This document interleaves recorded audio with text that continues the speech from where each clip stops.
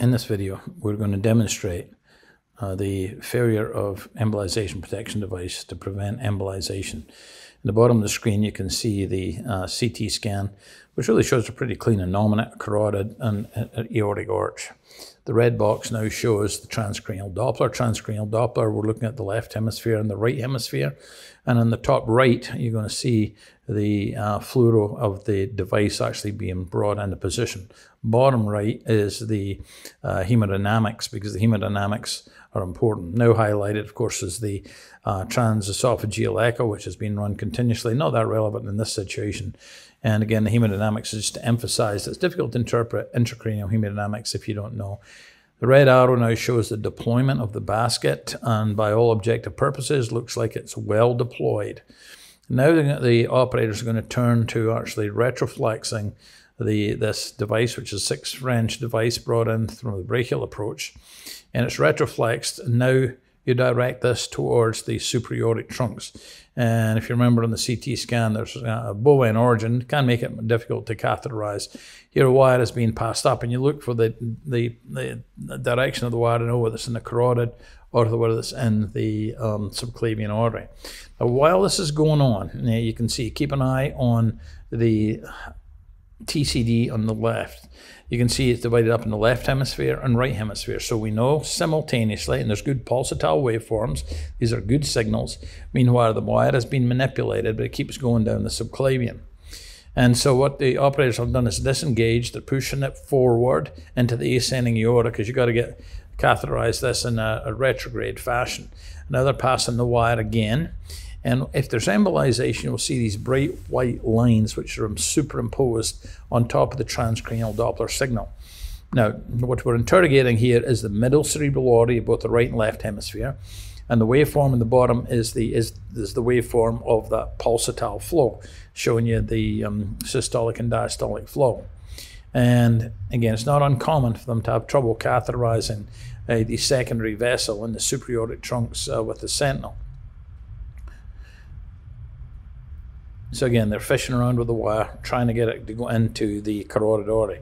Now, again, remember that the CT scan that we showed at the beginning is relatively normal. Um, there's not a lot of debris in the um, supra in the uh, arch of the aorta or, in, or any of the supra-aortic trunk. And that white line, which always shows as a slope, represents embolization. So right now we're seeing bihemispheric embolization actually occurring. And that's occurring despite the fact that the innominate basket has been deployed. And now they've deployed, and this is the, the, the, the carotid basket is deployed by advancing the hoop into the carotid, not by pulling back a sheath and deploying it. And you can see another embolus in this case, as you might expect, going up more on the left side, although this basket is actually in the subclavian artery. So the operators are once again basically advancing it's clearly in the subclavian in this situation and not in the carotid artery. And you see more embolization actually occurring. And you see it once again occurring in both hemispheres. Presumably that's due to the manipulation in the aortic arch or the device moving in both across the left common carotid orifice and the innominate artery.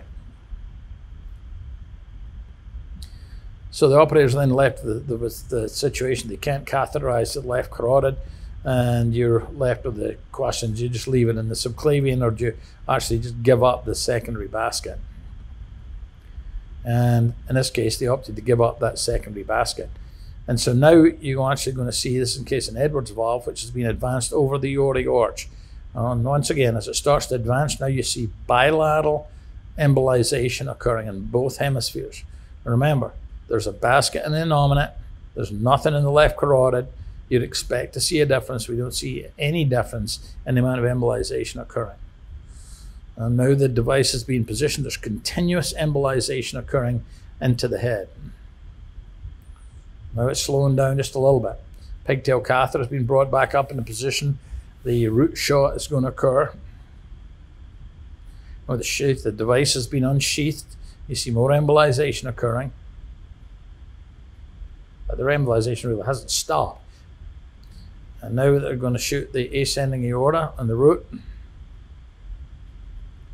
And again, you may see bubbles from the contrast. That's why it's important to record both of these at the same time. So there's puff being injected. Actually, we don't see a lot. I see a little bit, but not much.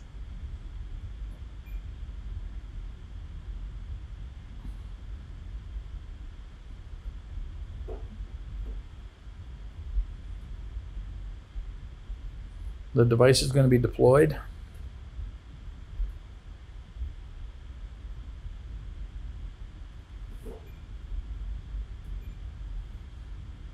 And you're going to see the pigtails being brought back. Device is being deployed. And as soon as that happens, you'll see decreased flow both sides because the balloon's up. Now the balloon is going to come down. You'll restore flow to both hemispheres. And you're going to start seeing showers of emboli actually occurring in both hemispheres, despite the presence of the embolization protection device in the innominate artery. And now the device is being withdrawn across the aortic arch. Continuous embolization is occurring here, and it will just slowly, gradually disappear. So clearly, embolization protection devices can generate emboli during their positioning. They are even when positioned. In this situation, you obviously have an internal control where we can see right side versus left side, and there was ongoing embolization. Whether it occurs through the basket or around the basket, these are things that remain to be determined. Thank you.